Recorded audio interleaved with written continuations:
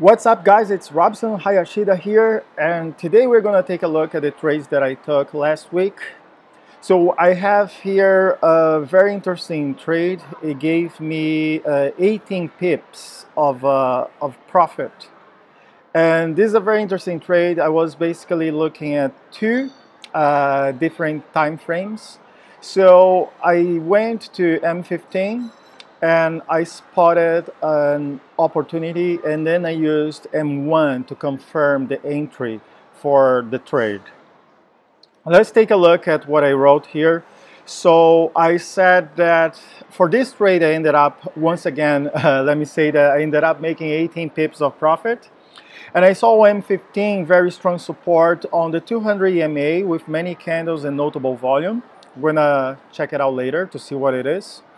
And I changed to M1, spotted entry, opportunity came with the big green candle that broke the whole number level, 111.000 uh, with notable volume. So let's take a look at M15.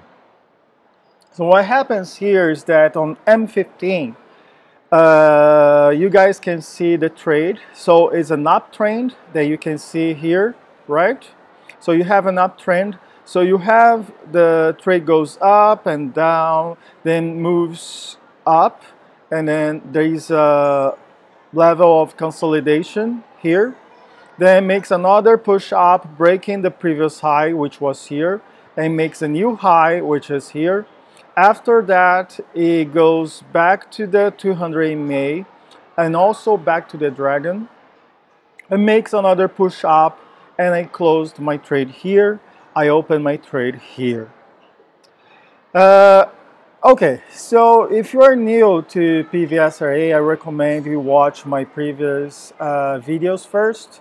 Go back to my past videos and look at uh, the definition of PVSRA.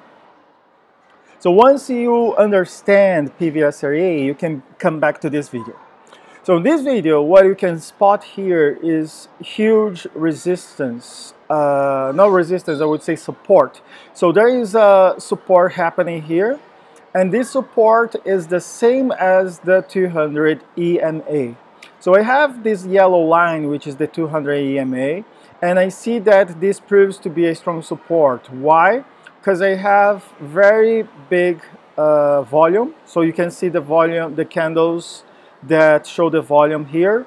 They're big and they're colored. That's why, according to PVSRA, I know that I have huge volume because PVSRA, PVSRA colors the candles for me. So I know that here we have notable volume and this notable volume is expressed here with the candles that failed to break the 200 EMA downwards. So I know that this is an uptrend because I spotted on M15. Uh, why did I enter exactly here? So in order for you to know that I entered here, we are going back to M1. And on M1, well, this is exactly, it's the same trade. It's just that we are changing the time frame to M1. So on M1, I see that uh, we made a new high all right? When you see the, the new high here, this high broke the previous high. The previous high was this one. So we have the previous high here, and I have a series of uh, candles with notable volume that helped uh, the trade to break the previous high. So the important thing to notice here is that I have a break of the previous high exactly at this level that happened here. But at with this level, I also have notable volume. And I have this green candle. Not only one, but I have a series of one, two, three, four candles with notable volume. Three of them are green, one is blue.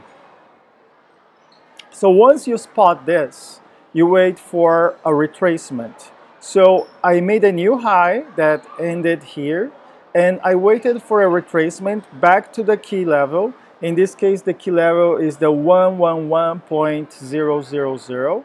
So it's a home number in PVSRA. And I entered exactly here. Why did I close my trade here? Because this is the RDH, is the range daily high. And the range daily high, I can see it's very clear on the M15. Now I changed my time frame back to M15. It's very clear that here I have my RDH once again it's the range daily high so it's the highest level that the trade got within that day right so this on that day was the highest level that the trade got to and I set my uh, target my TP my take profit I set to this level why because a lot of times it shows that once it reaches the RDH, it bounces back down. So I set my target here. And this was uh, 18 pips of profit. Very nice trade. If you guys have any questions, please write to me on the comment section below. By the way, don't forget to subscribe to my channel if you like my channel. Let's take a look at the next trade. So here I have a series of other trades by our uh, friends from the forum. And I have, oh, this is my last trade for the week. And here I have a series of uh, candles that broke the previous low. And I have my previous low here at around, I forgot this level, but I have my previous low here. And I have this being broken with a series of uh, candles and this candle that broke this level was a red candle, which was huge, was a big candle with huge uh, notable volume. So the volume was notable and was huge. You can see that this is even bigger than the previous uh, volume candle that was already big here. So this one broke the previous high uh, volume candle here.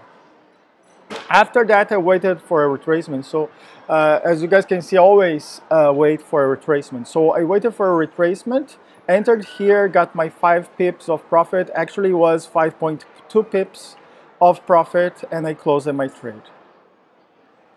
This was the a very typical entry for PVSRA. And you can see here that for the whole trade, it doesn't break the, the dragon. So it's always like a down trade. And it's a very beautiful down trade because it doesn't break the dragon uh, line, right? So we have the dragon line here and the trades, uh, and the trade bounces back sometimes, bounces back, but doesn't break the dragon.